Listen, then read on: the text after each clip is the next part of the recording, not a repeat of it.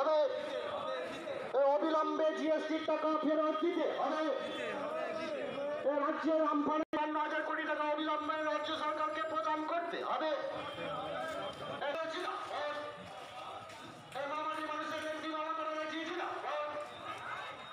সরকার আমাদের পশ্চিমবঙ্গ সরকারকে যেভাবে, বিভিন্নভাবে তার বিরুদ্ধে আমরা ইংলিশ বাজার বিধানসভার বিধায়ক নিয়ারঞ্জন ঘোষের নেতৃত্বে আমরা বিভিন্ন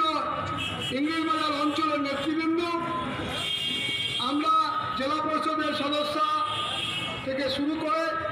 আমাদের জেলা তৃণমূল কংগ্রেসের নেতৃবৃন্দ শুভময় বসু থেকে শুরু করে শ্যামপ্রসাদ থেকে শুরু করে চৈতালি থেকে শুরু করে ছোটন মল্লিক থেকে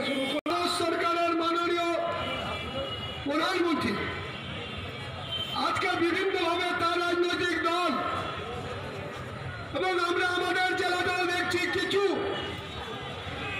যারা এই দলের দলের রামের নামে অপপ্রচারের মাধ্যমে মমতা বন্দ্যোপাধ্যায় মানুষের যে উপকারের বিভিন্ন পরিকল্পনা, সেই পরিকল্পনার বিরুদ্ধে চক্রান্ত করে আজকে সাংবাদিক অনুযায়ী ভারত সরকার রাজ্য থেকে যে বিভিন্ন শেষ